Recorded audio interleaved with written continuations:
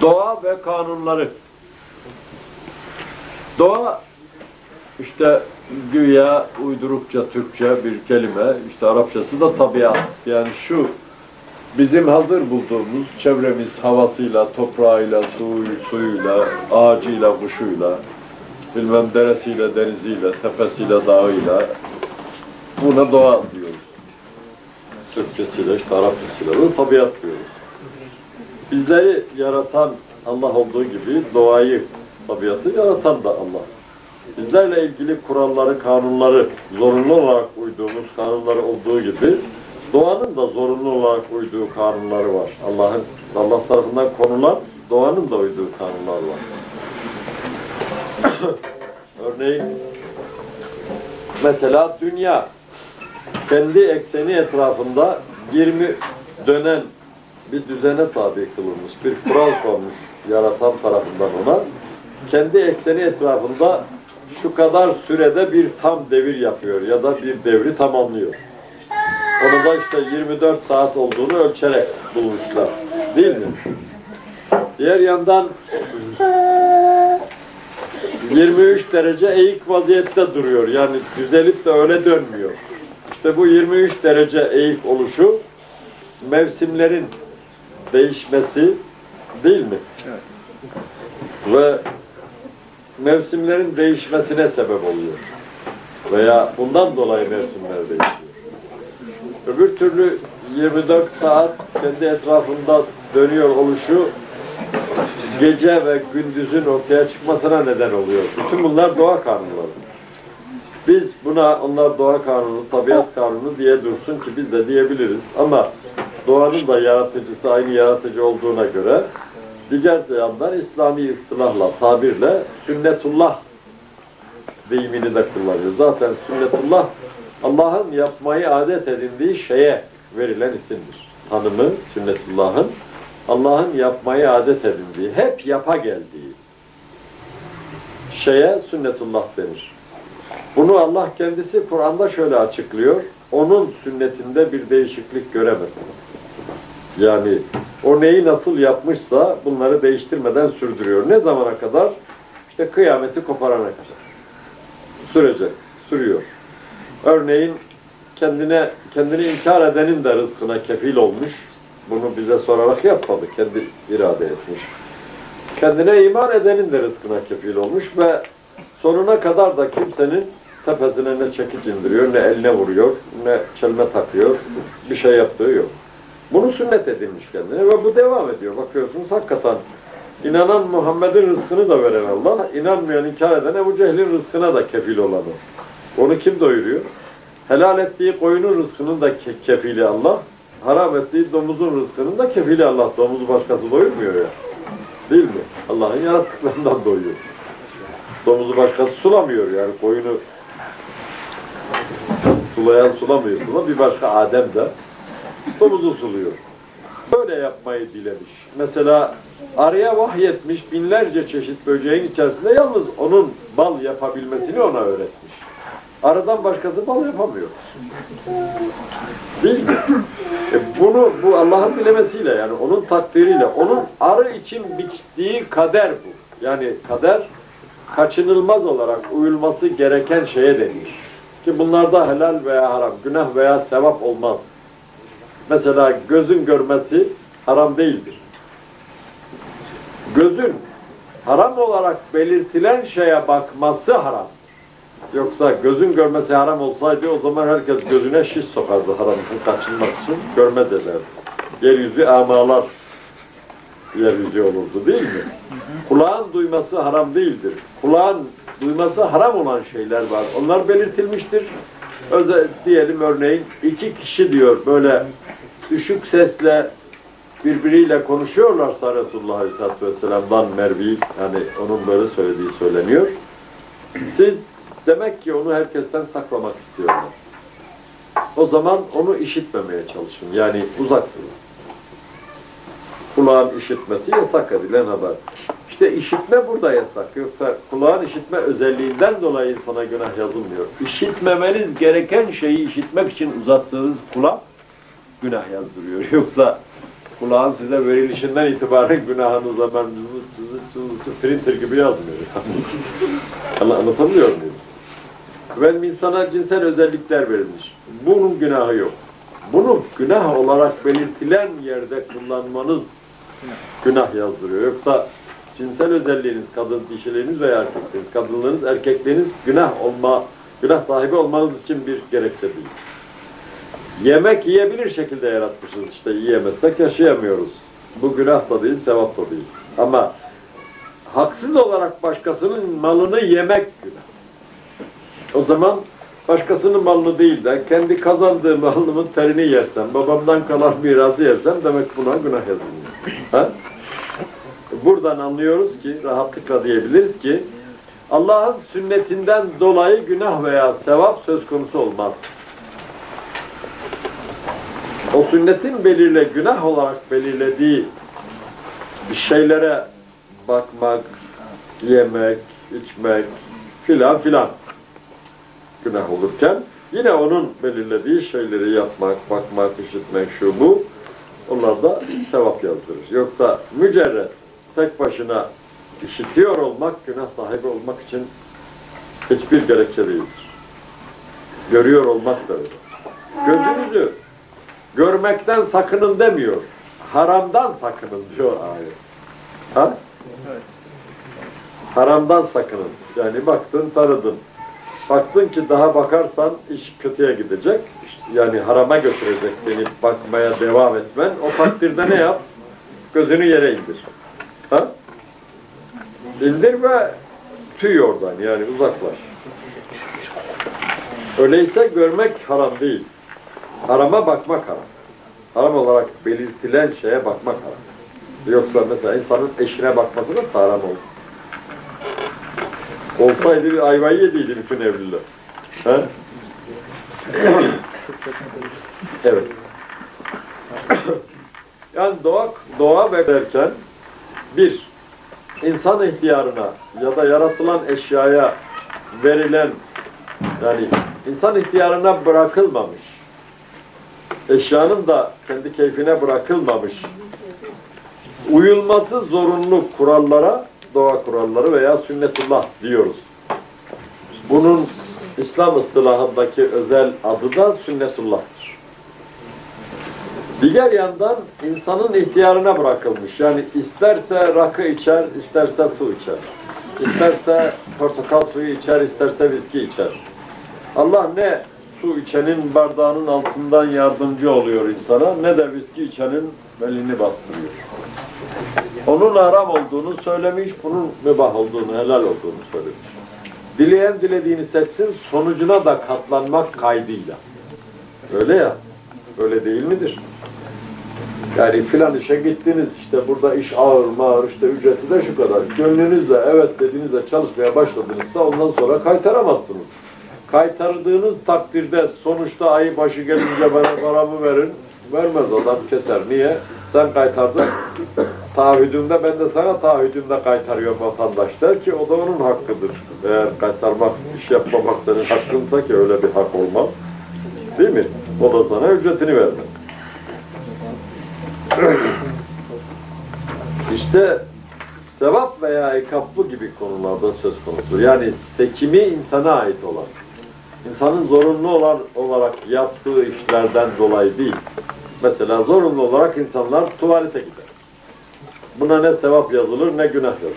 Çünkü gavuru da Müslümanı da zorunludur. Yani yiyorsa hacetini tefte edecektir. Yani dışkı olarak dışarı çıkaracağı da çıkaracaktır. Ama sıvı olarak ama katı olarak. Buna Lenin de uyar, uymazsa ölür zaten. Değil mi? Efendim, bir numaralı Müslüman da uyar. Uymak zorunda. Başka yolu yok. Yani Perulu da uyar, Çinli de uyar, Portekizli de uyar. Var mı uymayan, ben uymuyorum diyen var mı? Olamaz yani, olabilemez. İşte bunlara biz sünnetullah diyoruz. Ve sünnetullah diğer bir adıyla doğa kanunları herkesin uymakla zorunlu olduğu Allah'ın koyduğu kurallardır. Bu kurallardan dolayı kimseye günah veya sevap söz konusu olmaz. Kaza ve kader günah veya sevap İkab başlıklı hangi yılda yazdım hatırlamıyorum şu anda. Muhtemelen 83 veya 82'de olabilir. Bu başlıklı bir kavramlar yazımız yine iktibasta. Bu konuyla daha etraflıca ilgilenmek isteyenler için dikkat çekici, daha açıklayıcı, geniş bilgi veren bir yazıdır. İsteyen temin eder okur. Evet. Bir kısım insan İslam kültüründe mucize diye anlatılan, Kur'an'da bir defa dahi geçmeyen bir kavram var biliyorsunuz. Mucize. İ'caz, nadiren olan, sünnetullah'ın olağanüstü anlamına gelen, olağanın üstünde anlamına gelen şeydir. Bu kelimeyi Allah kullanmıyor. Allah'ın kullandığı ayettir. Onun varlığına işaret eden şeyler anlamında ayet işaret manasına gelir. Bir kısım yani genel ağır çoğunluk bugüne kadar doğa kanuna yani sünnetullah'a aykırı şeylere, olağanüstü şeylerin varlığına inanmış. Belki böyle düşünülmesine yardımcı olan ifadeler de bulmuş. Örneğin İbrahim Aleyhisselam'ı ateşin yakmaması gibi. Elbette ki burada düşünülmesi ve üstünde önemli durulması gereken şey şu. Allah her şeye kadir. Zaten kadir olmasa, gücünün yettiği şey bulunmasaydı Allah olamaz. Allah olmak için her şeye gücü yetiyor olmak da gerekir. Allah'ın küllü şeyin kadir oluşu Arapça Kur'an deyimiyle ifadesi. Demek Mehmet Efendi'ye de vahyediyor, Ahmet Efendi'ye de gönderiyor, filana da gaybı bildiriyor demek anlamına gelmiyor. Mesela bir tasavvufçuyla konuşuyorsunuz diyor efendim ya bu adam gaybı biliyor. Nereden biliyor ya? Bu, bu mümkün değildir. Efendim Allah diyor isterse yapamaz mı? Konu tamamen kayıyor dikkat edin. Yani biz Allah yapar mı yapamaz mı? Elinden gelir mi gelemez mi? Onu konuşmuyoruz. Sen diyorsun ki şu adama vahiy geliyor. Bu adam gaybı biliyor. Kur'an'da diyor ki gaybın anahtarları katımızdadır kimseye vermedik. Bildirdiklerimiz de Kur'an'da. O dilediklerine bildir, diledikleri de kim? Peygamberler. Kur'an'dan anlaşılıyor. Senin bana konu ettiğin, gaybın kendisine bildirildiğini söylediğin adam ne peygamber ne bilmem ne, nereden biliyor diyorum. Sen diyor Allah isterse yapamaz. Konu tamamen kaymış olur. Halbuki sen gaybı biliyor diye öne sürdüğün adama gayb bildirildiğiyle ilgili bana hüccet göstermek, delil göstermek zorundasın ki ben inanayım. Hiçbir delilin yok, biliyor, üfürüyor. Nereden biliyor? Allah'ın elçisi olsa hadi Allah bildirdi o da bildi diyelim. O da zaten kendine bildirilenin bir kısmını cebinde saklamıyor. Alayını ortaya döküyor. Herkese bildiriyor. Gaybla ilgili geçen gün de bahsettik mi bilmiyorum. Hani Musa ile Firavun arasında geçen konuşmaları anlatırken diyor ki bunlar gayb haberlerindendir. Onlar konuşurken sen yanlarında da değildin. Biz bildiriyoruz da sen öğreniyorsun. Yoksa nereden bileceksin onları? Mesela kimi gayb var diyor bir ayette işte sana saatten sorarlar. Yani kıyamet ne zaman kopacak? Diyor onu bilmek nerede sen? Çok açıkça peygamberine böyle söylüyor. Yani Allah ne idüğü belirsiz Ahmet Efendi, Mehmet Efendi, Mahmud Efendi'ye bildiriyor. Demeyelim. Konuyu da kaydırmayın, dışına da çıkmayın. Yani biz Allah'ın gücü yeter mi yetmez onu konuşmuyoruz. Mehmet Efendi'nin kaybı bilip bilmediğini konuşuyoruz. Biliyor diyorsan bana Allah'ın ona kaybı bildirdiğiyle ilgili delilini getir tartışalım. Konumuz bu. Niye dışına çıkıp da başka yere kaydırıyorsun? Haydar Allah yapamaz mıymış? Yaparım demiyor ki. Kül şeyin kadirim demek, her önüne gelene bilmem kaybından vermek demek midir yani? Yok. İsterse kedi de olabilir mi? Evet madem her şeye kadir. E o olamaz desen bak kadir değil. Şimdi olur desen Allah kedi ol. Karıştırmayın. Yani bu işler bu kadar karışık değil. Çok açık. Şapı şekere be beyaz diye karıştıran adama benziyor. Konuyu saptırmamak, rayından çıkarmamak lazım ki gerçeğine vakıf olabilirsiniz. Başka türlüsü de mümkün değildir. Evet. İbrahim Aleyhisselam'dan bahsediyor. Yani o hakkında ateşin onu yakmaması Allah dilerse eşyaya verdiği özelliği kaldırabilir. Elbette onun bileceği iş. Bize soracak filan bir şey de değil. Fakat İbrahim Aleyhisselam'ın ateşte yanmamasını başka türlü o sünnetinde değişiklik göremezsin ayetini de bu konuya dahil ederek düşünüldüğünde efendim örneğin onun yansın diye atıldığı ateşi Allah söndürüyor. Sönen yerde de ateş yok. Dolayısıyla da onu yakmıyor. Şeklinde düşünen olduğu gibi başka şekilde açıklamaya çalışan da var ama bu işin gerçeğini bilmiyoruz. Allah böyle diyor, biz de amenna ve sadakna diyoruz o kadar. Bilmemize de gerek olsaydı Allah tafsilatını, filmini de çeker bize kasetlerle çoğaltır gönderirdi yani. Yok şimdi bazı arkadaşlar bu konuda tartışmaya girdikleri zaman Allah o zaman bak sünnetinde e, değişiklik olabiliyor gibi Tamam da yine Kur'an'da diyor ki bu kitapta çelişki göremezsin diyor. O zaman çelişki olur. Çelişkili bir kitap olmadığını da ayrı bir ayette söylediğine göre nasıl oluyordu bu arkadaşlar öyle düşünebiliyor? Anlayamadığımız yerde duralım. İleri gitsek de o takdirde diyor ya karanlığa taş atmayın. Bilmediğiniz işin ardına düşmeyin. Kimi yerde Allah açıklamış, açıkladığı kadar gidiyoruz. Kimi yerde de fazla ileri gitsen de bir halt edemeyeceksin. Bir şey anlayıp çıkaramıyor. O zaman dur orada da. Dangır yani tehlikeli levhasını var. Tamam git oradan öte. Ya uçurum var ya kuyu var ya dinamit patlatacaklar ya bir şey bir şey yani. Niye girip de başını belaya sokuyorsun? Zaten çıkamazsın da içinde. Ha? Onun açıklamadığı yerde durmak lazım. İşte nerede duracağını, ne kadar gideceğini, nereye, hangi yöne gideceğini bilmeyenlerin başına böyle işler açılıyor. İşini bilen adamın başına hiç böyle işler gelmez yani. Aksilik gelmez değil mi? Onun kitabında çelişki yok. Bu şekilde düşünenler çelişki olduğunu söylemiş. Allah mı doğru söylüyor, bunlar mı söylüyor?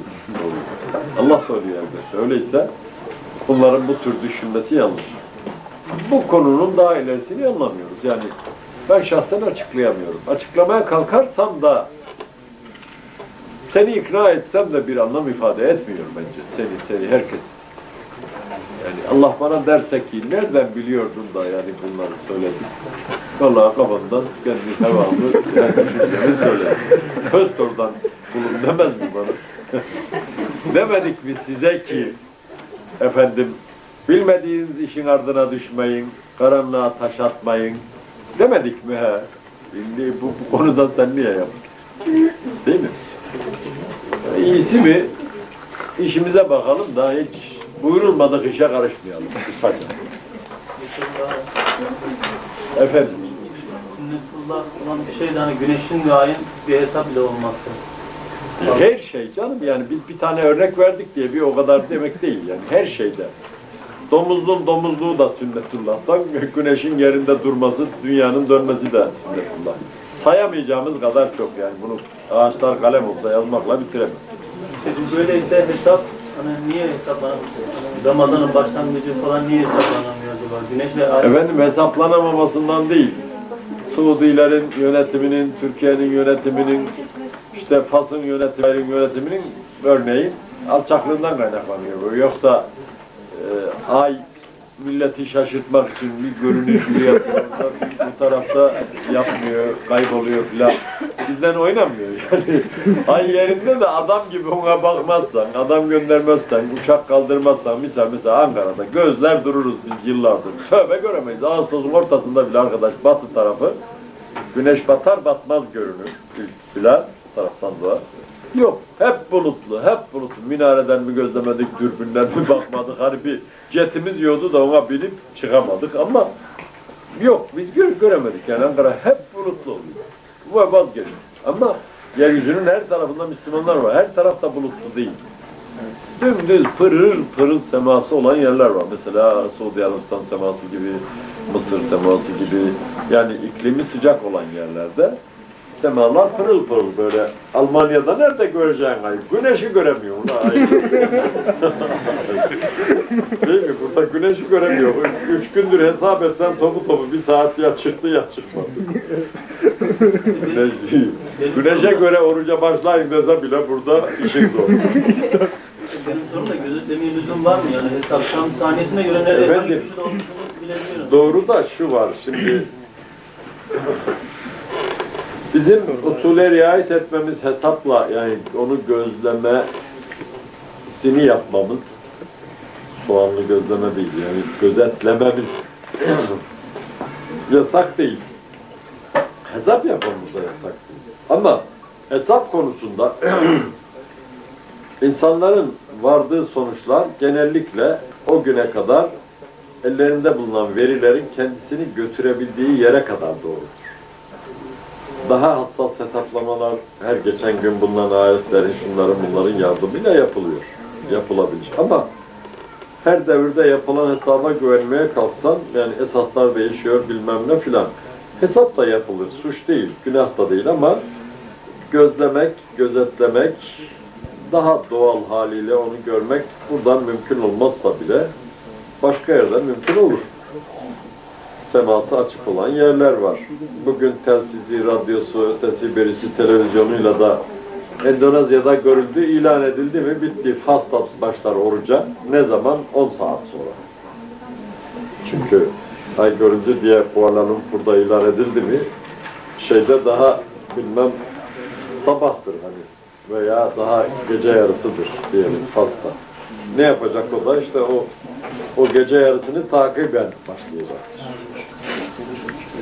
Bütün dünyadaki hani İslam dini tevhid dini. Tevhid akidesi sahibi olan insanlar da vahdet halinde, birlik halinde olmalı. İşleri, bayramları, oruçları, bilmem yemeleri, içmeleri filan. Bunu sağlama açısından bütün Müslümanlar bu konuda yani çalışsalar bu iş o kadar zor bir iş değil. Türkiye'den göremezsin de Mısır'dan gör, Mısır'dan görülmez, Erzurum'dan görülür mesela. Ama yapmıyorlar. Sanki Müslümanların bayramlarını bile aynı güne rastlamasını kıskanıyorlar. Adeta. Hani elimizde belki bir delil yok ama yani bakıyor da insan ilgisizliklerinden bunu söylemekten başka da çare bulamıyor. Ha? İlgisizliklerine bakıyor. Gerçekten sanki aynı gün bayram yapsak ne olur lan? Yani bize bir şey mi olur? Ama bunu bile kıskanıyor sanki. Halbuki yapılabilir yani. Bu o kadar bugünkü imkanlarla güç değil. Bu sene yaptık herhalde. Bir sürü şeyler yapılıyordu yani. Her gün uçaklar talim uçuşu yapıyor bilmem ne filan. Senede bir kere, iki kere de yani bir Ramazan hilali, bir de Şevval hilali görmek için her ülke bir iki uçak kaldırabilir. Yani hani iki şahit olsun diye iki uçak veya iki pilotlu bir uçak. Ne olacak? Zaten ümmetin parası ümmete bayramı söyleyecek, Ramazan'ı söyleyecek. Yani. Ama yapmıyorlar yani öküzcesine, alçakçasına yapmıyorlar. Evet hesapta yasak değil ama yani gözlemek daha itminan veriyor insana doğrusu. Neyse.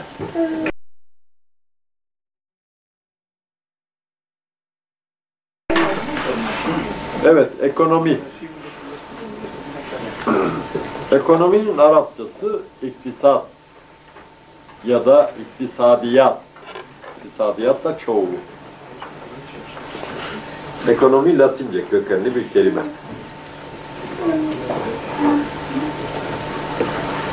Maddi değerlerle uğraşan ilme, ekonomi ilmi, bu değerlere sahip olma ve sahip olunan maddi değerlerde tasarruf etme politikasına da ekonomi politikası denir. Maddi değerlerin nasıl üretileceği, nasıl çoğaltılacağı, nasıl daha fazla, daha ucuza mal edileceği, mal, mal edilebileceği gibi şeylerle uğraşan ilim dalına ekonomi ilmi, l'economie science Fransızcasıyla sahip olunan ekonomik değerlerin nasıl sahip olunacağı, onlar üzerinde nasıl tasarrufta bulunulacağı, yani nasıl harcanacağı, nerelere harcanıp harcanamayacağı gibi konularla uğraşan ilme de l'ekonomi politik Fransızcasıyla le ekonomi politik telaffuzu l'ekonomi politik ekonomi politikası denir. Veya ekonomi yani iktisadi siyaset yani siyasi iktisat. Birincisi yani ekonomi ilmi kesinlikle ideolojilere yani dünya görüşlerine bağlı olmadan bağımsız olarak çalışabilir. Ekonomi ilminin yani malın nasıl üretileceği, üretimin nasıl çoğaltılacağı ile ilgili olarak uğraşan ilme ekonomi ilmi denir dedik ya. Bununla uğraşmanın ideolojik bir yanı olamaz. Yani buğdayı 1'e 5, 1'e 10, 1'e 15, 1'e 25, 1'e 30 veren hale nasıl getiririzle ilgili laboratuvarda yapılan yeni tür buğday ürün türleri çıkaralım yani yapabilir miyiz? Filan özelliğini falan buğdaya aşılayabilir miyiz falan filanla uğraşan adam Allah'ın buğday çeşitlerindeki sünnetini koyduğu kuralları, verdiği özellikleri tanımaya çalışarak o özellikleri ekleyip çıkarmak sonucu üretimi arttırmaya yönelmiş. Dolayısıyla sevaptır bile bu. Tabi sevap diye literatüründe şey bulunanlara sevaptır. Yani bununla uğraşmanın komünist de olsan, Müslüman da olsan, kapitalist de olsan bir şey ideolojik yani yani dünya görüşüyle alakalı değil. Sonuçta sen de buğdayla uğraşıyor ve buğdayın daha fazla nasıl ürün verebileceği ile ilgileniyorsun. Laboratuvarda sonra elde ettiğin sonuçları tarlalarda deneyerek. O da, o da, o da. Buğday da Allah'ın, tarla da Allah'ın. Mülkün hepsi Allah'ın. Öyleyse bu konuda ideolojilerin bir farklı görüşü olabilemez. Yani ideoloji dışıdır. Ekonomi ilminin alanının içine giren şeyler. Lakin ekonomi politik yani ekonomik politika dendiği zaman, ekonomide takip edilecek siyaset dendiği zaman bu mutlak surette ideolojilere göre belirlenir. Örneğin nelerin mal sayılıp sayılmayacağı, mal sayılan şeylerin şeylere nasıl sahip olunup olunamayacağı, ne miktarına sahip olunup olunamayacağı, sahip olunacak şeylerde ne şekilde harcama yapabilirsin, ne, ne şekildekini yapamazsın, nereye harcayabilir, nereye harcayamazsın, ne kadar harcayabilir, ne kadar harcayamazsın gibi şeylere karışan, yani bu şeyleri konusu içine alan şeye de ekonomik politika denir. Ekonomi politikası bununla uğraşır ve bu tamamen ideolojik niteliklidir. İslam'ın bu konuda bir ayrı ideoloji olarak koyduğu kurallar farklıdır. Marx'ın koyduğu kurallar Marksizme göre farklıdır. Laik kapitalik, kapitalist, e, liberal ekonominin kuralları farklıdır. Anlatabiliyor muyum? Ekonomi politikaları farklıdır. Mesela işte serbest pazar ekonomisi deniyor. Mesela kapalı ekonomi deniyor. Mesela sosyalist ekonomi deniyor. Sosyalist ekonomide biliyorsunuz emek eşittir değer teorisi vardır ve bütün değerler yalnız emek ürünüyse değer sayılır. Emek ürünü olmayan bir şey değer değildir. Dolayısıyla miras bir değer sayılmaz ve asla mirası helal görmez Marx. Yani kabul etmez. Çünkü evladın babasının kazancı da payı yoktur. Çünkü babasının alın teri vardır, emeği vardır, evladın yoktur der. Ona el koyar. Yani babasından oğluna bir şey kalmaz, kızına bir şey kalmaz. Yani bir beş kuruş koplatmaz. Neden? Ekonomi politiğinde yatan temel nedenler sebebiyle sonuç. İslam da böyle yani. İslam insanları mal sahibi olma, mülk sahibi olma yollarını e, sınırlamıştır. Örneğin kimse zinadan mülk sahibi olamaz. Kimse yani bir kadın veya erkek vücudunu satarak yaygın deyimle asla bir şey sahibi olamaz. Zira vücudunu satması bizatihi bir suç. Karşılığında para alması da ayrı bir suç. Vücudunu satmak zina yapmak demektir. Değil mi? Karşılığında bir şey almasa bile. Yani gönüllü. Buna rağmen suç sayıyoruz. Dolayısıyla bu yoldan kimsenin bir kazanç sağlamasına İslam helal gözüyle asla bakmaz. İken kapitalizmde vücudumu da sat, başka satacak ananı da sat, babanı da sat. yani satılacak bir şey buldun mu durma sat. Gelsin paralar da neyi satarsan, istersen Galata Kulesi'ni sat. Tamam? Kapitalizm öyle bakarken mesela şey, Marx o da hiçbir şey sattırmaz.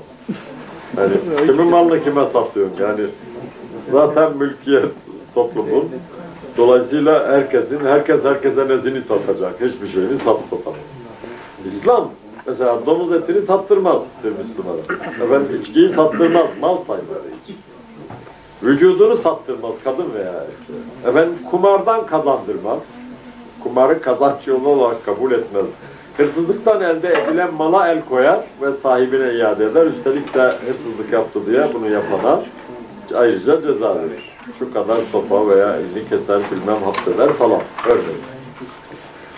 Bu bakımdan bu işlerin ideolojilerde birinin diğerine nispetle farklı oluşunun sebebi ekonomi politikalarının ideolojilere bağlı, dünya görüşlerine ve biçimlerine bağlı olmasından kaynaklanır.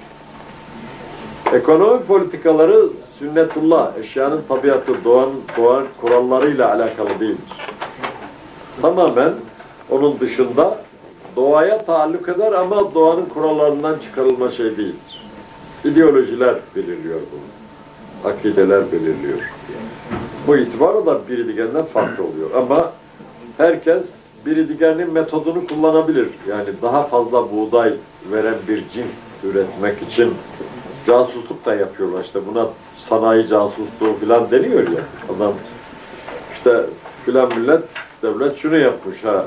Aman sanayi casusları vardır dünyanın paralarını bilmem ne yapar filan. Yani sudan motor yapılmış. Nasıl suyla çalışan yani bizde de biz de yapalım. Çünkü bu iş sonuçta su onlarda da var bizde de var ve Allah'ın yarattığı bir şey. Ama bundan haberdar olalım ki yani litresine 20 bin lira ödeme yerine efendim 2 bin lirayla gidelim. Buyur. Ee, çünkü ya işte sen Müslümansın yani kapitalistlerin bulduğu otomobili suyla çalışan arabayı nasıl kullanıyorum? Caiz mi gavurların yaptığı kullanmak demek işte anlatışın, anlatım biçimimizden de anlaşılıyor ki biraz değil epeyce tahtasız noktanın, hatasız yine tahtasız olmanın ifadesidir. Nükteli konuşalım çünkü ilave nükteler isteniyor. Ve hizmet ücrete tabidir. Fazla mesai. Değil mi? Efendim konumuzla ilgili bir sorumuz var. Enflasyon bir ekonomik kavram. Bunu da ekonomiden sonra anlatabilir misiniz? Teşekkürler. Enflasyonun Türkçe karşılığı pahalılık. Biraz daha ekonomiye yakışır tanım yapılırsa para değerindeki düşme ya da mal fiyatındaki yükselme, mal ve hizmet fiyatındaki yükselme. Zaten bir tarafından tarif edersen mal ve hizmet fiyatındaki yükselme dersin. Öbür tarafından tarif edersen ki birbirinin aynı sayılır bunlar veya tamamlar. Para değerindeki düşme enflasyon. Bu neden düşer? Böyle bu hastalık neden olur? Yani insan mesela niye grip olur? Niye nezle olur? Hapşırır? Niye gıdıklanır? Niye kaşınır? Her, her şey bir nedene bağlı. Niye enflasyon olur? bir, ekonomide arz ve talep dengesizliğinden, arzın talebi karşılayamamasından dolayı enflasyon. Arz ne demek, talep ne demek? Şimdi onları anlatacağım. Arz, mal ve hizmetlerin üretilen kişiler tarafından, kurumlar tarafından ona ihtiyaç duyanlara sunulması, hazır edilip sunulması demektir. Buna kısaca ekonomide, ekonomik tabirle arz denir. Talep ise bunlara duyulan hizmet ve mala duyulan ihtiyaç demek. Yani onu istek, ona duyulan istek. Mesela ben işte örneğin sigara içtiğim için kül tablasına ihtiyacım var, talebim var yani. Arapçası talep, Türkçesi istek. Öyleyse ya kendim yapacağım bunu ihtiyacımı kendim karşılayacağım ya da birileri çokluğa göre bu talep çoksa o da tutacak fabrikasını kurup kalıp malıp yaptıracak. Çeşit çeşit porselenden, camdan, tenekeden, sacdan neyse kül tablası yapacak. Ki arz edecek ben talep sahibinin talebine ben de bakacağım keseme göre, keyfime göre işte bana şundan ver diyeceğim. Arz ve talep dengesi yani birbirine tam eşitliği değilse bile eşite yakın denge. Denge biliyorsunuz terazinin hani kefenin ucundaki şeylerin şöyle şöyle işte şöyle denge karşılıklı durur ya. İşte o, o ona denge denir malum. Bir şöyle şöyle duruyorsa bu denge değil. İki taraftaki ağırlığın yani arzın talebe eşit halinde enflasyon olmaz. Eğer bir toplumda enflasyon oluyorsa o toplumda üretim düşüklüğü var. Eğer bir toplumda enflasyon oluyorsa o toplumda mal ve hizmetlerin çoğaltılmasında o toplumda artan talebe nispetle talebe bakılarak düşüş var demektir. Türkiye ürettiği malların bir cimciğini dışarı yollamasa, satmasa bile nüfus artış hızı yüzde iki onda sekiz Türkiye'de. Yani her sene şu anda aşağı yukarı 3 olsa 3 6 18 1 milyon 800 bin nüfus ekleniyor Türkiye'ye. Şu andaki nüfusuyla ve her sene de bu 1 milyon 850 bin, 1 milyon 900 bin filan şeklinde artıyor. Böyle olan bir ülkede okulu bu nispette yüzde üç nispetinde artıracaksınız ki geçen sene 6 yaşında olduğu için okula gidemeyenler önündeki sene arkasındaki yeni doğan o da 6 iken 7 yaşına giriyor okul çağına. Dolayısıyla okul çağını o nispette okulu çoğaltacaksınız ki öğrenci enflasyonu olmasın sınıflarda. Çünkü öğrenci sayısı artar. Öğretmen bir tane kalırsa ne oluyor? Eğitim düzeyi düşüyor. Efendim şu kadar çiftçilik yapan insan var, bu kadar traktör var, şu kadar ekilip dikilebilir arazi var, bu kadar traktörünüz var. Her sene bu traktörlerin bir amortismanı var. Yani yüzde şu kadarı kullanılamaz hale geliyor. Yani eskiyor, hurdalaşıyor. O zaman ar- araziniz de artmıyor aynı. Demek ki ihtiyaç hasıl oluyor. Çünkü kullanılabilen alet bu sene diyelim 100 bin tane. Gelecek sene bunun 10 bin tanesi devreden çıkmış. Kullanılamaz hale gelmiş. O zaman en az şimdi bunu hiç ihracatın olmadığı bir ortamda söylüyorum. En az artan ihtiyaca yahut mevcut ihtiyacı karşılamaya göre 10 bin yeni traktör üretecek ve yani arz edeceksiniz taliplilere, ihtiyaç sahiplerine demektir. Bir de dışarı açılmanız yani dışarı satımınız da söz konusu olduğu takdirde ne yapacaksınız? Daha da fazla nispette üreteceksiniz ki bir kısmını ihtiyaç duyduğunuz malların bedelini karşılamak üzere için dışarı satabilirsiniz. Bir kısmını o üretim fazlasını sağlayan emekçiye, çalışana ayırasınız. Bir kısmını o alanda yatırım yapan sermayedarın payını veresiniz. Sonuçta ülkede kazansın, fiyatlar artmasın. Dışarı satım sonucu gelen parayla kendi yapamadığımız dışarıdan alınması gerekenleri alın, al- alacak parayı örgücümüzden yemeyelim. Dışarıdan aldığımızdan karşılayalım. Ve fiyatlar böyle istikrarını korusun. Yani durgunlaşsın, artış olmasın. Yani para değeri düşmesin veya mal ve hizmetlerin değeri yükselmesin diye ifade.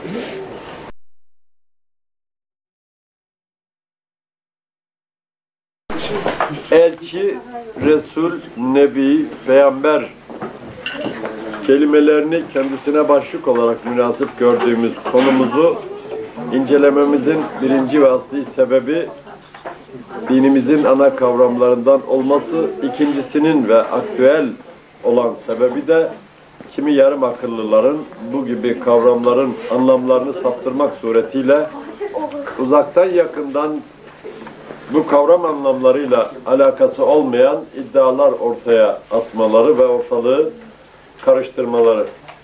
Türkçe bir teşbihle sıpanın kimi sıpaların oynaması nice eşekleri yoldan çıkarıyor. Çıkan da bir sürü adam oldu bu, bu şekilde. Gariptir. De Mısırlı bir ziraat mühendisi olan Amerika'da yaşayan Reşat Halife isimli vatandaş kendisinin sağa sola yazdığı mektuplarda mektupların altına işte Reşat Halife Allah'ın elçisi Resulullah Arapçasıyla ifadesini yazarak mektup gönderiyor derken Kel tavuğun her ülkede kör alıcısı bulunur. Türkiye'de de Edip Yüksel denen yarım akıllı bu kel tavuğun alıcısı olarak çıktı. Çenesi de işlektir dır dır dır dır dır dır dır dır bohçacı karılar gibi orada burada bir sürü yarım akıllı. Sahiden Reşat Halife'ye vahiy geldiğini zannetmeye başladı o serserinin ortalığı karıştırması sonucu. Bana geldi anlattı işte biliyorsunuz önce bu iş şöyle başladı. Efendim 19 meselesi. Hazreti 19. Efendim bütün ayetler 19'un çarpı katıymış da 19 harfinin bilmem nesiymiş de falan da filan ulan 19 aşağı 19 yukarı hani kafayı 19'dan bozdular bunlar.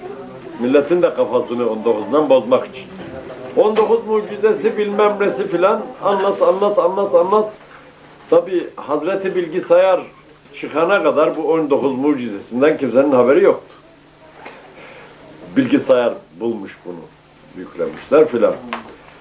Ve bu işin garip tarafı 19 mucizesi Tevbe suresinin son iki ayetini 19'a tutturamadığı için Kur'an'a sonradan ilave edilmiş iki ayet demek suretiyle bir başka fitne daha işlediler, çıkardılar. Dedim ki anlattı, anlattı, anlattı. Dedim peki Edip bu kadar çeneni yordum ben de sabırla seni dinledim. Sonuçta ne olacak? Yani bu 19 meselesini varsayalım kabul ettik tamam.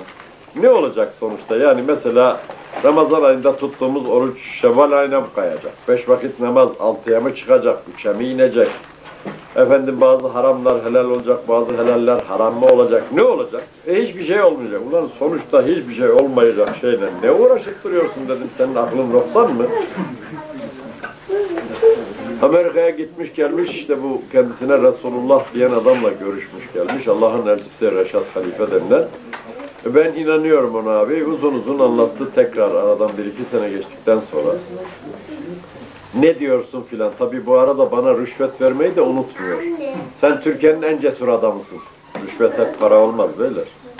Rüşveti görüyor musun? Gel dayan yani alma. En cesur adamısın. En bilmem filan. Kimsenin söyleme aklından geçiremediği şeyleri ağzından çıkarabilen kalemiyle yazan adamsın. Dedim Edip ne zamandan beri küçükler ellerinde elma şekerleriyle büyükleri kandırmaya başladı. Bizim bildiğimiz bu, bu filmin tersine oynadı. Yani büyükler elma şekeriyle küçükleri kandırır. Ne diyorsun sonuçta? Dedim ki bir İslami yönetim olsaydı, ben de bir kadı olsaydım yani hakim. Seni karşıma çıkarsalardı bugün dinlediğim gibi dinlerdim. Sonuçta işte ayağa kalkın karar.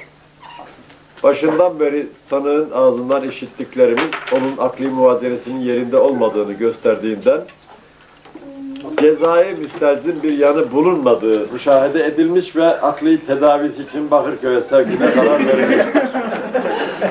Karar temiz yolu açık olmak suretiyle Tabii çok bozuldu o filan. Böyle işte şimdi de almış başını gitmiş Amerika'da o o herifi de öldürdüler ya onun yerine halife olmaya mı çalışıyor ne yapıyorsa. Çok kimseyi de kattı karıştırdılar. Bu Güney Afrikalı bir Müslüman var. Ahmet Didat. Bu 19 mucizesi bilmem ne diye o herifin kitabını şey yapar, tercüme eder. Türkiye'de Diyanet İşleri Başkanı Tayyar Altıkulaç tuzağa düştü. Ondan sonra Diyanet Vakfı'nın konferans salonunda alenen ben döndüm yani ben bu, bu görüşü terk ettim yanlış yapmışım filan diye açıklama yapmak zorunda kaldım. Ben dinledim bunu bizzat yani. Tayyar Altıkulac'ın böyle dediğini. Başlangıçta işte aşağılık kompleksi bu işte. Bu kadar matematiksel bir kitap insanlar nasıl yazabilir filan. Tabii bilimin ışığında İslamcılar bunlar. Bilimin ışığında İslam olur lan. İslam'ın ışığında bilim olur. Tabii yaptıkları hatayı anladılar, döndüler ama bu arada bir sürü kafayı da bulandırdılar. Bu bakımdan biz inanıyoruz ki, yani biliyoruz üstelik elimizdeki malumatla tarih boyunca birçok insan çıkmış, kendisinin Mehdi olduğunu, Allah'ın kendisine vahyettiğini söyleye gelmiş. Her devirde bir çıkmış, üç çıkmış, beş çıkmış, daha geçen gün de Allah bana bildirdi, işte önümüzdeki cumartesi öleceğim diyen bir gariban. Kuşkuru düşüğün birisi de konuşuyordu. Cumartesi geldi ATV onu gösteriyor. Cumartesi geldi ölmedi, pazar geldi ölmedi, hala yaşıyor. Ama ona inananları konuşturuyorlar ve onlar Allah kararını değiştirmiştir. Olabilir efendim. Ulan sünnetini değiştirme haberi yok garibim. Yani şeyhe Allah'tan daha çok inanıyor. Böyle olunca ne olur sonuç? Tabi iyice onun bunun eğlencesi oldu bu iş. bir bakıma da haklı olarak. Öyle ya sen dangalaklık yaparsan karşı tarafta güler. Niye gülmez? Bizim dergide yazıp çizdiğimiz İskender Erol Evranasoğlu isimli Yüksek Ticaret Mektebi mezunu zat DPT'de çalışmış malışmış bilmem. O da işte Allah beni Mehdi seçti diye kitap yazmış iktibasta. Kitabından pasajlar yayınladık. Hatırlıyorsunuz. Geçenlerde de bir konuşmada ona gelen vahiylerden bir ikisini naklettim size. Hepiniz güldünüz ya. Vahye güldün mü? Kur'an'ın ifadesine göre Resulullah Aleyhisselatü Vesselam Allah tarafından kullarına gönderilen en son elçidir, en son nebidir. Kendisine haber gönderilmesi itibariyle nebidir. Kitaplaşmış haber. Artı onu insanlara iletmez işlevi itibariyle de ona Resul, Arapçasıyla, Türkçesiyle de elçi diyoruz. Bu bakımdan habercinin insanlara ilettiği haber de, elçinin insanlara götürdüğü haber de aslen kendisine ait olmayan şeylerdir. Yani onu birisi görevlendirir, görevlendirmiştir. Yani Allah'la kul arasında da olsa, kullar arasında da olsa, örneğin şu konuda bana elçilik yapar mısın? Yani filan adama gidip benim namıma şöyle şöyle işte Ercüment Bey 100 lira ödünç istiyor der misin? Sen de kabul ediyorsun. İşte bu işi, aynı lafı ona aktarırsa elçilik yapmış oluyor. Sonuçta söylediğin şeyi ben sana bildiriyorum. Allah ile kullar arasındaki elçiler de böyle. Yani kullarından seçilen elçilerin konumu da bu. Onların kendiliklerinden bir şey katması halinde elçilik olmaktan çıkarmıyor. Bu itibarla da vahiy gayrimetlu denilen şeyin mevcut olmadığını kesin bir şekilde bilmektedir. Muhakkak dinini insanlara gönderen, onlara hidayet eden, yani doğru yol olarak gösteren Allah, doğru yolun ne olduğunu kendi biliyor, kendi belirliyor.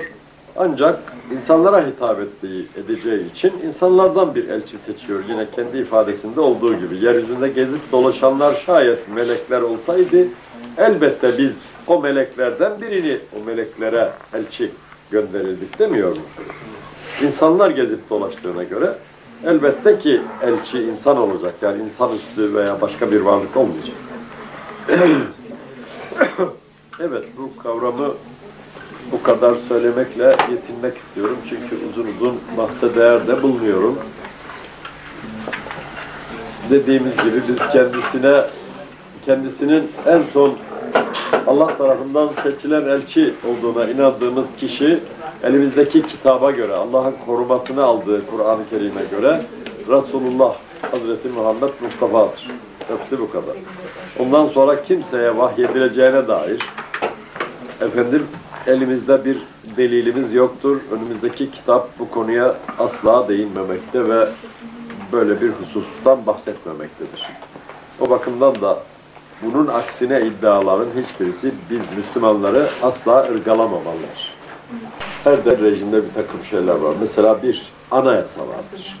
Anayasa en temel yasadır işte bu üstünde ana yasa, yasaların anası.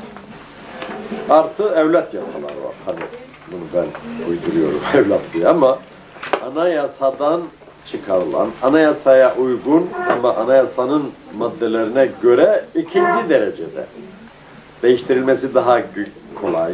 Anayasa mesela üçte iki, çoğunluk diyor. Değil mi? Mesela kanunlar öyle değil. Yani o kanun görüşüldüğü celsede kaç milletvekili var?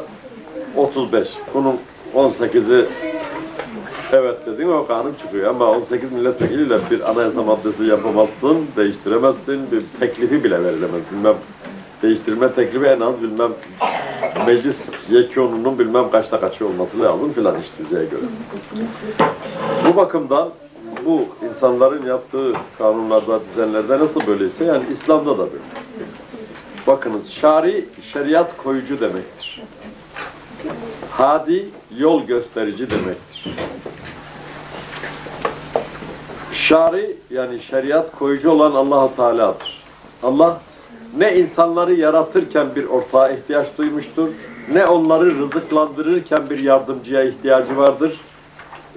Ne her şeyi görenim dediği zaman işte sen de gördüğümü bana söyle de ben işte her şeyi gören, bilen olayım deme ihtiyacını duyan bir varlıktır Allah. Hiçbir konuda hiçbir kimseye onun yardımına asla ve kat'a ihtiyacı olmayan bir varlıktır bizim Kur'an'daki Allah. Kur'an'da kendini tanımlayan Allah. Dolayısıyla şeriat koymada da Allah'tan başka kimsenin yetkisi yoktur. Bu noktadan sonra böyle aldanarak öyle söyleyenler, konuyu anlamadan öyle söyleyenler niye o duruma düşüyorlar ona açıklık getirmek istiyorum. Şimdi bir kanun çıkarılır mecliste örneğin.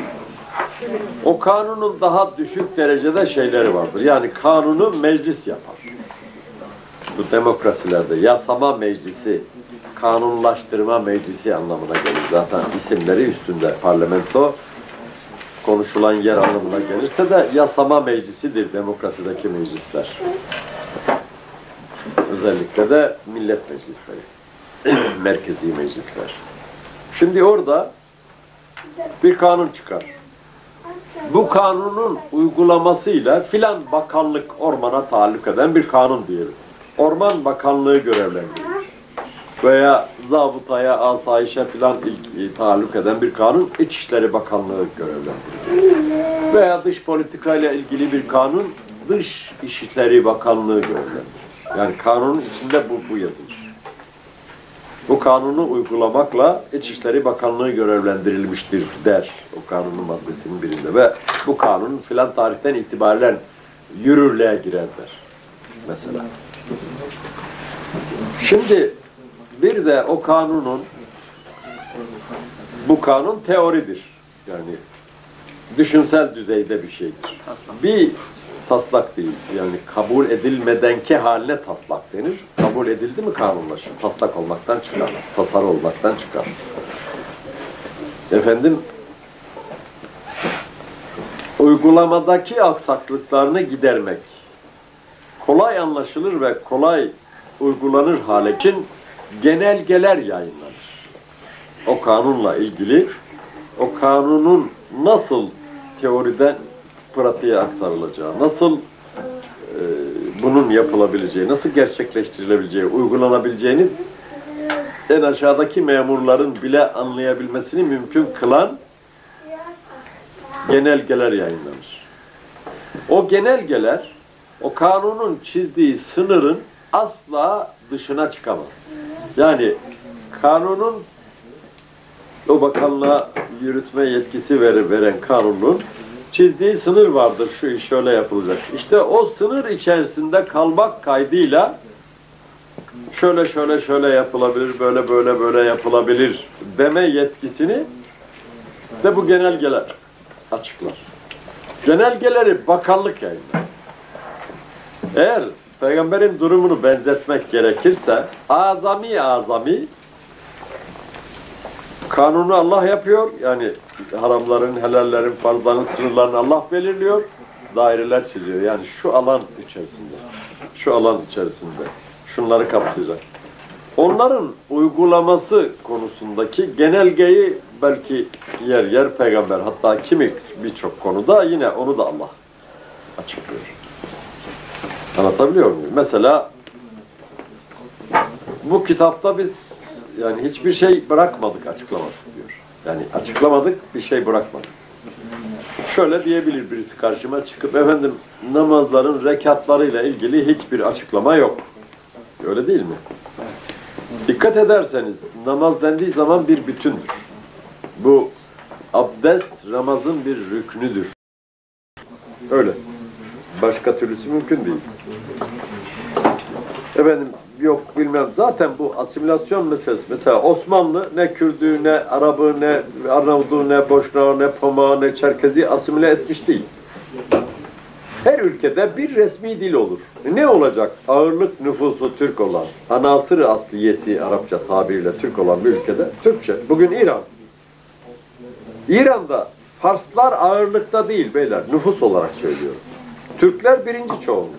Farslar ikinci çoğunluk, Kürtler üçüncü çoğunluk, Bahtiyariler bilmem neler, Be Belücüler falan var yani derece derece.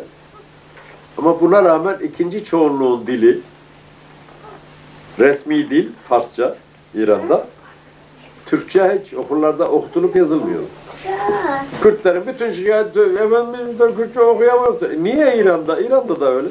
Çünkü bir devlet belli topraklarında 50 tane dil belletmez. Tamam dil öğretmek için Çince'den Kürtçe'ye kadar uzman kişiler bilmesi lazım. Ama öyle. Başka türlü olmaz ki. Olmuyordu ondan. Anlatabiliyor muyum? Zaten dil fazla bir şey de ifade etmiyor. Yani sen giyimini terk et demiyor. Yani İslam'a aykırı olmadığı sürece işte Kürtler giyimlerini, mahalli giyimlerini hep koruya gelmişler. Hala Kürt kadınlarının kendine mahsus giysileri var. Görüyorsunuz televizyonlarda falan değil mi? Evet bir eteği var, onun üstünde bir çarşafında bir şey var, tül gibi bir şey var falan var, poşeti var, renkli şu. Tamam.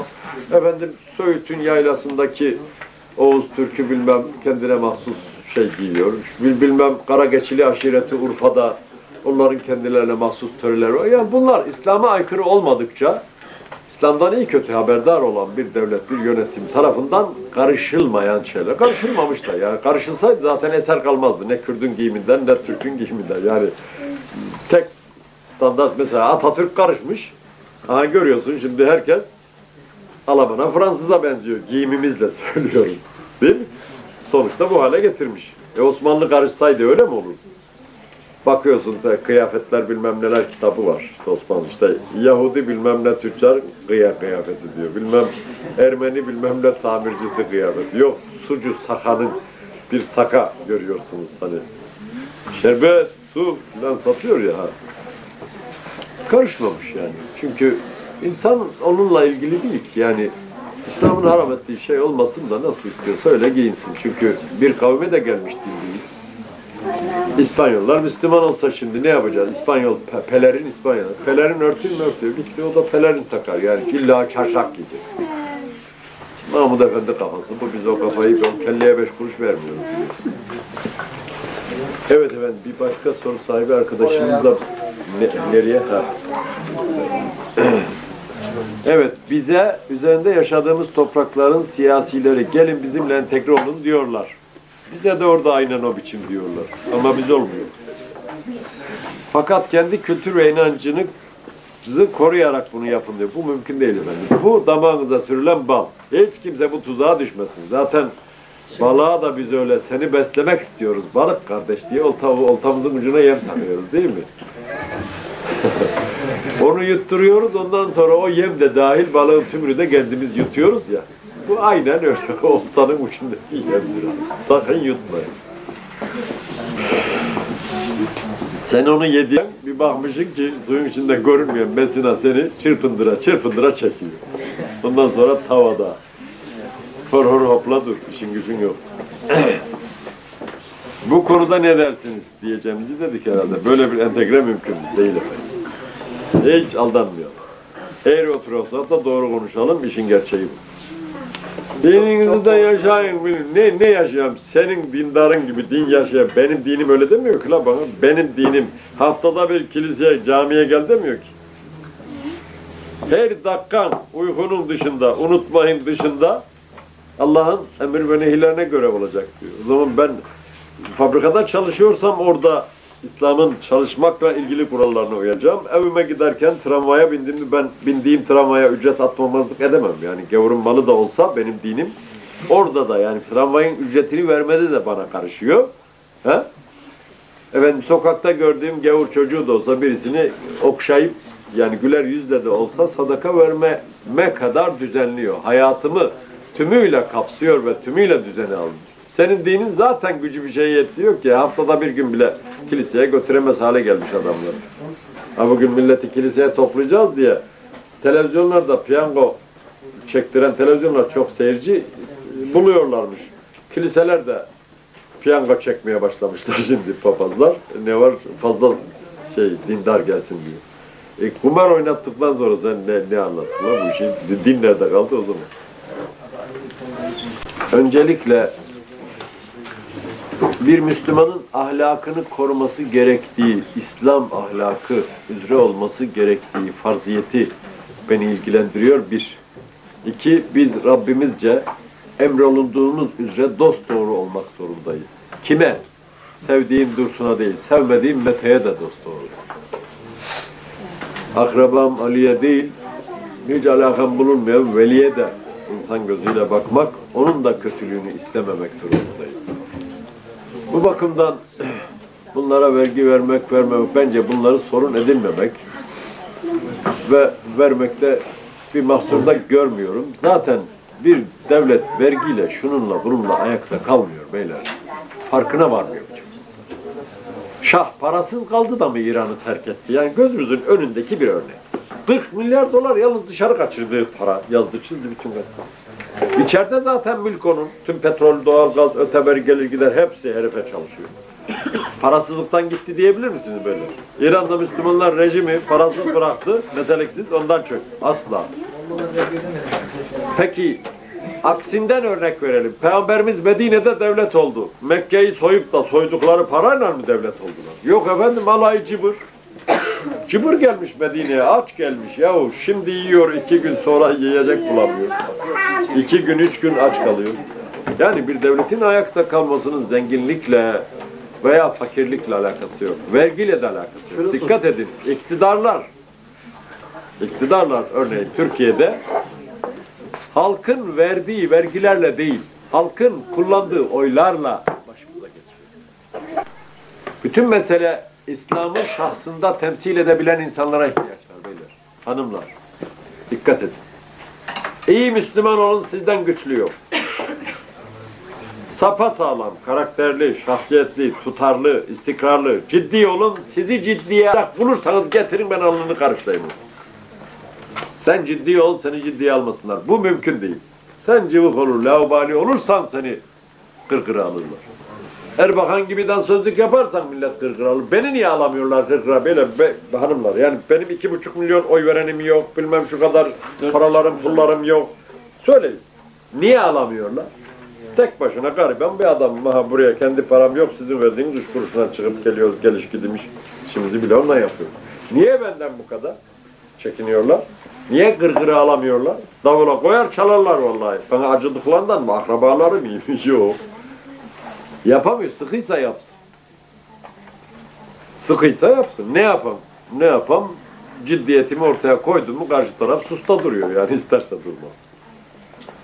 Birisi biraz yalpalamaya görsün. Benden ilk defa bir defa kandırılabilir. Bir ne diyor Resulullah? Ne dediği deniyor. Bir Müslüman bir yılana bir delikten bir defa sokulur. İkinci defa sokulursa o Müslümanlığını elden geçirir. Son kısmı ben e, söylüyorum. Evet. Röportaj yapmış. Koyacağız, moyacağız. Tamam bakıyorum. Aynen koydum evet. İşte Nokta dergisinde ok- okurum size.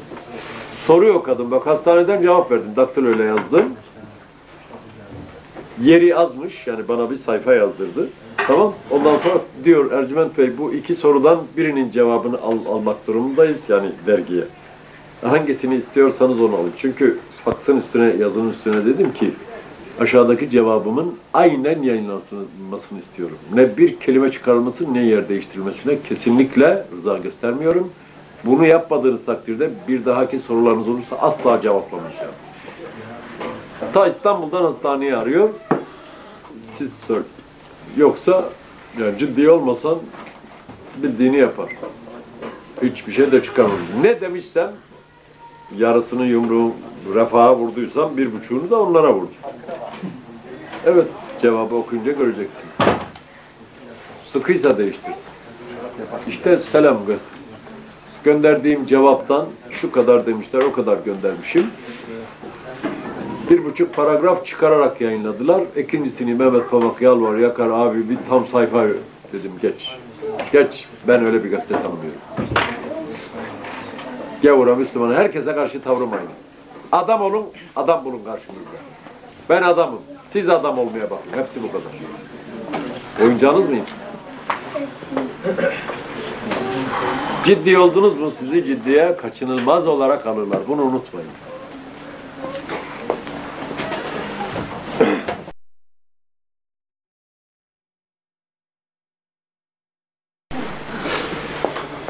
Fık anlayış demek, anlama demek. Fık tefakkıh, tefakkuh anlama, kavrama demek. Tabi anlamanın ve kavramanın sonucunda da bir ürün ortaya çıkar. Yani bu ameliyeye tefakkuh dendiği gibi, fıkh etme dendiği gibi, fıkh etmenin sonucu ortaya çıkan ürüne de fıkh denir. Onun usulüne usulül fıkh denir. Efendim fıkıh ta- tarihine tarihil fıkh denir falan filan. Anlayışın kendine mahsus kuralları vardır. Yani bir fikri veya bir kavramı, bir tabiat olayını anlamak peşin fikirsiz, ön yargısız yaklaşımı gerektirir. Yani onu olduğu gibi bütün verileriyle gündeminize almak, altına, üstüne, sağına, soluna bakmak ve o ne olduğunu size gösteriyorsa ona o demeye kendinizi hazır tutmakla, tutmaya, tutmakla tefakkuh mümkün olur. Yani şöyle olursa işte büyüklerimizin dediğine aykırı olursa ben kabul etmem diyen adam asla tefakkuh edemez. Onun yaptığına tefakkuh denir, değil papağanlık denir. Onun bunun dediğini tekrar etmekten başka bir anlam ifade etmiyor. Evet, kısaca bu kadarını yeterli buluyorum. Biraz hızlı gitmek zorundayız.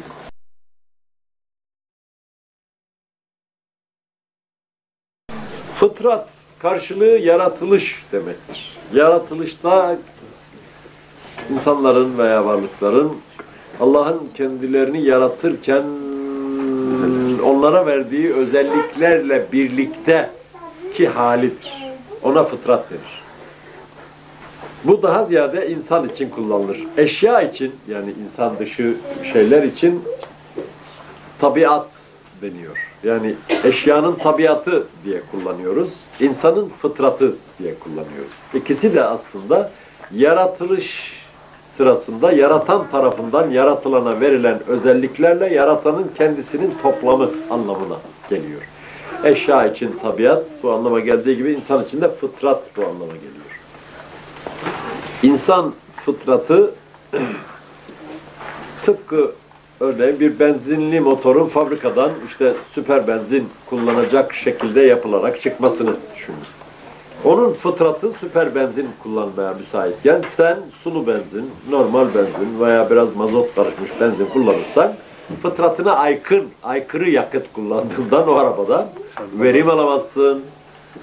İşte insanlar da onu yaratanın fabrikasyon yakıtını bakınca işte göndermiş Allah şeyini değil mi? Tarifnamesini, Kur'an'ı.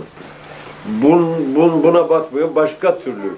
Sen karışma biz kendimiz karışacak hayatımıza. Sen nesin ki ne karışacaksın? Karışsan ne yapar? Ateş olsan nereye yakın insan olur? Kendini yakıyorsun yani başka. Nitekim de işte demokrasi, laiklik, Marksizm, sosyalizm cümle alem insanoğlunun ocağını yakmış işte. Bir buçuk milyar insanın ocağını 70 senede yaktı Marksizm değil mi? Şimdi eller yanlarına işte eyvah biz aldanmış. Biraz gecikmediniz mi vatandaşlar yani? Olur mu bu iş? Mahvoldular bugün bir somun ekmeğe muhtaçlar gör, görüyoruz. İnsanları at gibi çalışıp da çalıştırıp ortaya çıkan meblağ feza sanayine, yok bilmem füze sanayine, nükleer bilmem silahlara yatırmak yetmiyor. İnsanlar nükleer füze başlığı yiyerek karınlarını doyuramazlar. Yaşayamazlar sonuçta değil? Öyle gün gelir ki bütün emeğini eline verirler. Bak şimdi im- imha ediyorlar. İmha etmek de parayla ha. Yani onu da ucuza ya bedavaya imha edemiyorlar. Değil mi? O zaman ne anladık? Onu yaparken dünyanın parasını harca. Bir de yok edeceğim diye. El elde baş başta öbür taraftan bir somuna muhtaçsın. Bu ideoloji ben ne yapayım öyle ideolojiyi? Fıtrata aykırı da ondan böyle. Kapitalizm de öyle. Tam henüz güçlenmediği için yani Müslümanlar İslam'ı kendinde taşıyan Müslümanlar henüz ortaya çıkmadığı için bu rejim Türkiye'de şurada burada duruyor. Yoksa kim ne yaparsa yapsın Usvetül Haseneler ortaya çıksa bu rejimler tapır tapır tapır düşer. Güçlüsü yok, rakibi yok şu anda. Onun için ayakta duruyor kapitalizm, layık demokratik düzen Türkiye'de. Yoksa hiçbir kıymeti harbiyesinin olmadığını hatta daha dünkü seçimler herkese gösterdi. Ortalık ana baba gününe dönüyor. Millet birbirine aynı partinin, aynı zihniyetin adamlar demediğini koymuyor. Sanki bir numaralı düşmanıymış gibi. Memleketin olur, ne olursa olsun memleketin anasını bilmem eşek kovalasın. Umurunda mı heriflerin? Enflasyon almış başını gidiyor, millet eziliyor, büzülüyor. Olsun. Hani mebuslara dokunulmasın da, vekile dokunulmasın da asla her türlü dokunmak serbest o karikatürde olduğu gibi. Kimin umuru bu? Hiç kimse de diyor mu bizim dışımızdaki ya bu, bu neyin nesi? Adam olun da kimse size dokunamasın. Şu, şu koltuğa oturdum diye dokunamama ne nedir? Bu koltuğa bir otur tamam yemediğin halt koyma. Olur mu öyle şey? Adam ol da kimse sana dokunamaz. Değil mi? Dokunulacak iş yapma da kimse sana dokunmaz. Evet. Fıtrat, insan fıtratı söz konusu. İnsan fıtratı uzvu ihtiyaçlar ve içgüdülerden ibaret. Uzvu ihtiyaçlar yemek, içmek, ve hacet etmek, teneffüs etmek. Uzvu ihtiyaçların iki ana özelliği vardır. Birincisi bunlar doyurulmazlarsa insan ölür. Yani teneffüs etmezse, affedersiniz işte büyük küçük abdestini yapmazsa teneffüs eder, yemek yemez içmezse kimisi bir günde öldürür, kimisi beş günde, on beş günde ama sonuçta ölür insan, yaşayamaz. Üç uzvu ihtiyacın da ana özelliklerinden birincisi bu. İkincisi, bunların uyarıcısı dışarıdan değil, içeriden yani bünyedendir. Dışarıdan değil demek şu demek kısaca, insan tuvalet gördüğü için çişi gelmez, çişi geldiği zaman tuvalet arar. İnsan yemek gördüğü için acıkmaz, acıktığı için yemek arar. İnsan iyi havaymış, aç, muslukları teneffüs edelim, kötü hava şurada kirli, kapat. Olmuyor yani. Dumanı tütmüş odada da olsan, bünyeden geliyor bu yani dışarıdaki içeri alacağı, o ihtiyacı cevaplayacağın şeye bağlı değil. Evet. Kısaca böyle bunlar. Efendim, içgüdülere gelince beka içgüdüsü, nev'i içgüdüsü ve tedeyyün yani dindarlık içgüdüsü diye üç temel esasla toplanan içgüdüler insan fıtratını oluşturan ikinci ana faktörü oluştururlar. Beka içgüdüsü insanın var var olmaz, var olmak isteği, var olmasını sağlama, var olmayı istemesi demektir. Varlığını sürdürebilmek için de insanlar bir takım şeylere ihtiyaç duyarlar. Yani örneğin soğuktan korunmak için işte üstüne örtecek bir şey, efendim başka şeylerden korunmak için başını sokacak bir ine, bir eve, bir bilmem neye filan. Ve ilahir yani buradan şuraya gitmek için bir binite falan filan. Bu tezahür olarak mülkiyet denilen kurumu ortaya çıkarır. Yani maliki olacaksınız ki o şey sizin olsun ve siz korunasınız, bekanızı, varlığınızı sürdürebilirsiniz. Bunun tezahürü, görüntüsü mülkiyettir, beka içgüdüsünün. Beka varlık demek zaten. Var olma içgüdüsü.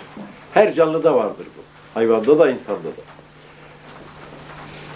Dikkat edersen mürekkep balığında bile var yani birisi peşine koştururken hemen mürekkebi atıyor ortalığı bulandırıyor onun gözünü görmesin diye tüyüyor. Değil mi? Evet. Çokça örneğe lüzum yok. İkinci içgüdü cinsel içgüdü. Yani bir cinsin, dişi cinsin erkek cinse, erkek cinsin dişi cinse hayvanlarda ve insanlarda gösterdiği tezahürdür. Bu iki tür, iki şekilde tezahür eder. Bu ilgi iki şekilde. Bir, bir erkeğin kadın olarak annesine, kız kardeşine, halasına, teyzesine, bacısına gösterdiği cinsi farklı da olsa ilgi, şefkat dediğimiz cinsten. Şefkatin Türkçesi de işte sevgi. Böyle seksle alakası olmayan sevgi. Annesini nasıl sever bir insan? İşte o, o türü kastediyoruz şefkat derken. Tezahürlerinden birisi bu, yani görüntülerinden. İkincisi de şehvettir. Bu da insanın işte hanımına, hanımının kocasına, hanımın kocasına duyduğu cinsel ilgidir. Bu ikisi de cinsel içgüdünün tezahürüdür. Üçüncü içgüdü, tedeyyün içgüdüsü, dindarlık içgüdüsü demektir. Dindarlık içgüdüsü demek bir insanın mutlaka adı bilinen bir dine mensup olması demek değildir. Dindarlık içgüdüsünün tezahürü takdis etme şeklinde tezahür eder, ortaya çıkar. Yani kendi dışındaki bir varlık, bir olay, bir şey karşısında kendini aciz eksik, noksan görmesi ve onun onun mükafatlandırmasını beklemek ya da ondan gelecek cezadan kurtulmak için ona yaranma, ibadet etme, kulluk etme şeklinde tezahür eder. Bu işte eski bazı kavimlerde efendim yanardağ patlar işte köylerini, kasabalarını yıkarmış filan yanardağa e, tapıyorlar. Efendim. E peki ne yapıyorlar yaranmak için? Belasından kurtulmak. Köyün en güzel kızını götürüyorlar, o lavlar üzerine atıyorlar ki hani al bunu memnun ol da kendileri o en güzele sahip olmakta memnun oluyor ya. He? Al bunu da hani bizi koru. Yani rüşvet veriyorlar. Yani ona kulluk etmiş oluyor.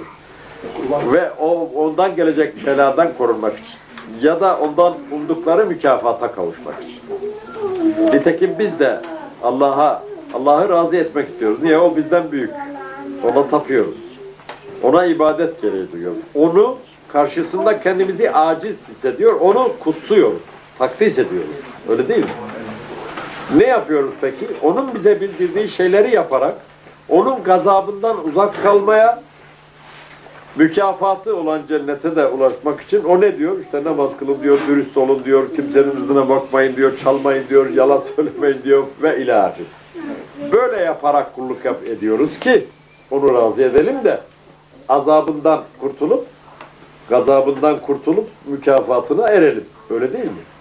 Yani batıla takılan için de vaka bu, olay bu.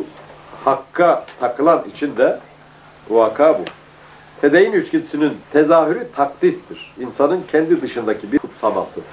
Bu aslan olur, kaplan olur, fare olur, yanardağ olur, gök olur, güneş olur, ay olur. Olmuş zaten tarihte. Allah olur. Düşünüp taşınıp hangisi olmalı? Hani İbrahim Aleyhisselam için de işte yıldızlar Tanrı yok bilmem onlar sönünce kayınca yok Tanrı böyle olmamalı Allah.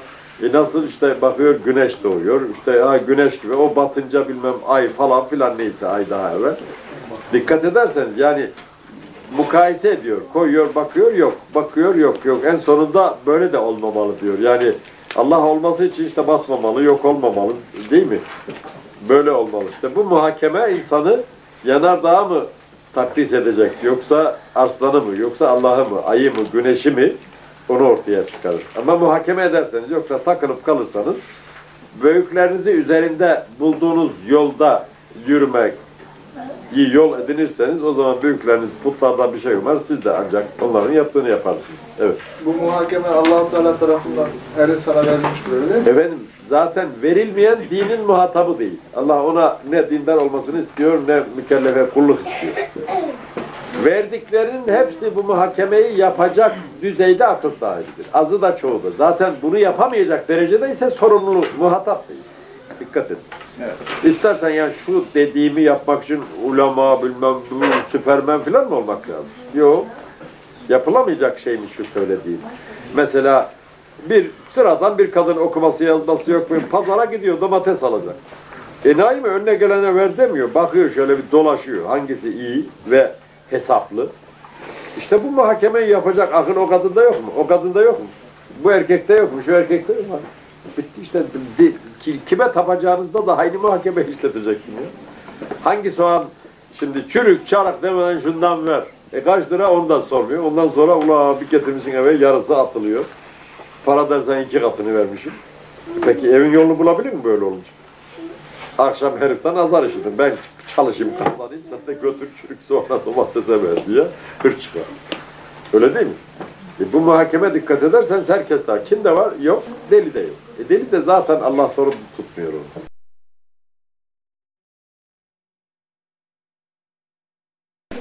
Halüsinasyon gavurcası, Türkçesi de varsanı hastalığı deniyor. Bu bir hastalık türüdür. Psikolojik bir hastalıktır. Yani ciğerinde, bağırsağında falan olmaz bu. iç hastalığı falan değil. Ruhi bir hastalık. Bu şu demektir. Bir kişinin, bir insanın zihnen gerçekle alakası olmayan bir takım şeyler kurup kurgularının doğruluğuna kendini inandırmak suretiyle inandığı bu kurgularını gerçekleştirmek için hayatını adaması şeklinde tezahür. Yani kafasını kurgusuna takar, o kurduğunun peşinde koşturur. Ve kendini ona verir. Ya başka hiçbir şey düşünmez olur. Bunun en meşhur örneklerinden birisi mesela çok tarihte de çok da işte Said Nursi, diğeri Fethullah Gülen. İkisi de halüsinasyon hastası. Diğer taraftan Evren Asoğlu. Kendisine vahiy geldiğini, kendisinin Mehdi seçildiğini filan kur kur kur bilmiyorum. İki, ilk ikisi bunun sanki hasta olduğunu farkında değil ama üçüncüsünü epey üçkağıtçı buluyoruz doğrusu. Yani işine öyle geliyor. Bakıyor, lan tıngır tıngır şeyler getiriyor, kazanıyor filan. Tabi böyle bir hasta varsa karşımızda dinden sorumlu değil demektir. Öyleyse Allah sormayacak, biz ne hakla soracağız. Fakat hasta olmayan insanlar bu denli hasta olanı mihmandar, rehber, kılavuz edinirse o zaman zopa alıp o akıllı, akıllıyım diyenleri biraz kovalamak gerekiyor yani. Ya, hadi o deli de böyle de size ne oluyor? E onlar da var olan aklını atıp ona benzemeye çalışıyor. Olmaz öyle şey. Evet.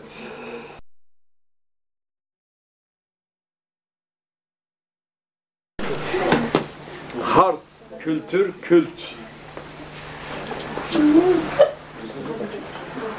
Türk kültüründe, Kürt kültüründe, Arap kültüründe yani hemen her kavmin, her topluluğun kültüründe bir takım zaten kültür, kültten türeme bir kelime. Kutsadığı bir takım kavramlar, bir takım varlıklar, bir takım şekiller, bir takım heykeller, bir takım şeyler var. Örneğin ayı kutsuyor. İşte ayı kutsayan Kutsal görenin gözünde ay bir külttür. Efendim arslanı kutsuyor işte bu Şia mesela. Esadullah demiş güya Peygamberimiz ya. Eski İran bayrağı sağ elinde kılıç tutan arslan şeklindeydi ya. Yani ars, arslan kutsal bunlarda. Efendim Hindistan'da işte fili kutsal, fareyi kutsal sayan toplumlar var. İneği kutsal sayan. Ee, Velhasıl her kavmin, her toplumun cahili kültüründe kültür var. Zaten kültürü de o kültlerden türüyor. Şamanlıkta mesela eski Türklerin dininde işte e, gök tengrisi, yer tengrisi değil mi? Efendim ayın önemi var. Mesela ay tutuldu mu teneke çalıyor filan o. Yani önüne bir şey şeytan geçmiş de o karartmış gibi onu kovalayacak. E, o da teneke ten mi ürküyormuş, ne yapıyormuş mesela. Şamanlar ayin yapıyor. Hani e, saygı değer, değer atalarımız kızı derler de aslen Türk. Dillerinde 3000'den 3000 civarında Türkçe kelime var. Kızılderili. Bering Boğazı'ndan geçmişler ortada. Zaten eşkalleri, ata binicilikleri, o çadırlarının rengi bilmem ne şu Kazakistan'da filan bakıyorsun aynı. Mekan itibariyle o çamlık, yaylalık, çaylık aynı yerleri bulup yerleşmişler dikkat edilirse. Onlar o şamanlar mesela işte bir takım şeyleri kutluyorlar. Efendim bir iskelet, bir bilmem ne filan. Büyük saydıkları kişilerin, Hakanlarının, Kağanlarının kabirlerine mesela atını, avradını, kabı, kacağı adam ölünce beraber koyuyorlar.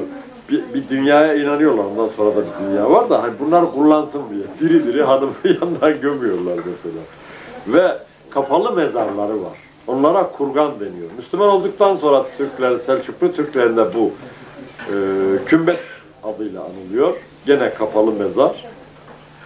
Osmanlılarda türbeleşiyor. Dikkat edin. İslam'da ise böyle bir şey yok. Yani rengi boyanmış bizim eski şamanizmden gel. Mezarlara yatır mezarı, katır mezarı, yani çabut bağlıyor defesindeki ağaca falan. Ne olacağız da dilek diyor, bağlıyor. Eğer dilekler böyle olsaydı millet ne diye dünya onca paralar harcasın, pullar, masraflar etsin dileklerin olması için değil mi? Evet. Kült kısaca bu. Bunun Arapça, kült gavurca eski yani Latin kökenli bir kelime hars ise Farsça. Onun tam karşılığı. Kültürün karşılığı. Kültün değil. Zaten kültür de kültten, külte taalluk eden şeyler toplamı demek. Külti şeyler. Yani kültle ilgili kavramlar, davranışlar, anlayışlar filan toplamına kültür deniyor işte. Bu milletin kültürü filan diyor. Bu kültür işte kült olan bu saygınlık say işte evliyalarından ermişlerine, yatırlarından katırlarına varana kadar her bir şeyle. Bu sahih demek değil tabii. Yani Kur'an kültüre itibar etmiyor. Kültüre Kur'an atalarının üzerinde yürüdüğü yol olarak tanımlıyor ve o yolda gitmek diye Kur'an'ın bir yolu yok. Saymıyor. O yolu yol saymıyor. Çünkü kültün temeli gerçeğe dayanıyor. Yani Kureyşliler filan Uzza diye bir put var. Ondan neler bekliyor neler. Bir kervan mı çıkarıyorlar Şam'a? Gidip kurban kesiyorlar önünde. Niye? Kervanımıza aslan kaplan saldırmasın. İşte karlı gelsin hepimiz. de. Allah Allah. Ömer'den de nakledilir ya Ömer İbn Hattab'dan işte biz diyor böyle yapardık yani o öküz helvası pekmezle kavut olur. Hani bulgurun unu, bunu kararlar böyle eline şekil verilebilecek bir helva olur şu irmik helvasına benzemez. Kırmızı olur da öyle yani. Ona da istersen şekil verebilirsin ya. Efendim ondan diyor o uzanın veya latın neyse e, küçük benzerini yapar. Yolculukta üstümüze alırdık diyor. Yani bizi aslandan kaplandan koruyacak işte eşkıyadan başka kavimlerin saldırısından. Diyor yiyeceğimiz bitince de diyor mesela yerdik. Fakat hiç düşünmezdi ki bu dişinimize dayanamayan, bize hücum eden kavmi nasıl karşı koyup da bizi kurtaracak. Hiç diyor aklımıza getirmez. Onun için gerçeğin ifadesi olmaz. Kültler gerçeğin ifadesini ifadesi değillerdir. Vehim sonucu ortaya çıkan şeylerdir. Kurma Türkçesi, kuruntu, Arapça zan, ve. Evet. evet. Bu bir bakıma medeniyetle, medeniyet biliyorsunuz şehirlilik demek. Meden, medeni, Medine, şehir. Özel bir şehrin adı. Medeni, şehirli demek. Bedevi, çöllü demek. Yani köylü, kırsal kesim adam. Biz de öyle diyoruz. Onlarda çöl var, şehir var. İşte çöllüye çöllü diyor. Türkçe diyoruz ya. Şehirliye de şehirli. Medenileşmek, şehirlileşmek. Yani nasıl diyelim?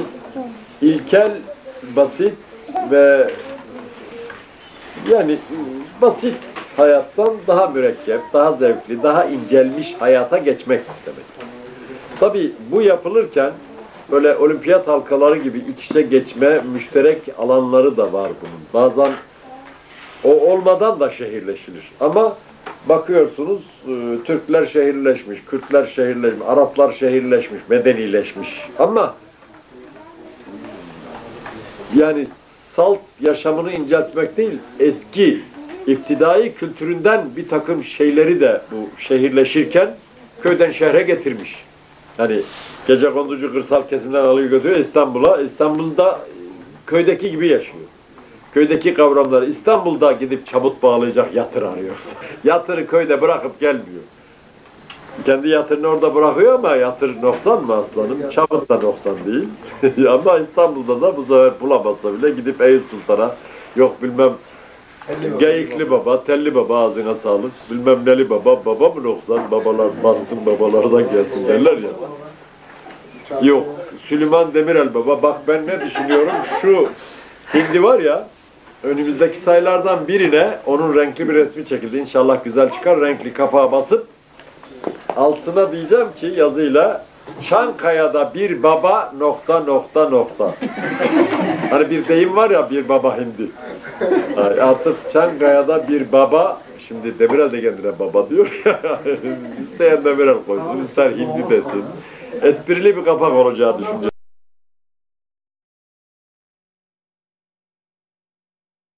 Hekimlik, tabii burada insanlara biz tıp dersi vermek, doktorluk dersi vermek için gelmedik. Bunu biliyorsunuz ama anlatınca görülecek ki bizim konularımızla yakından alakalı bir deyim bu.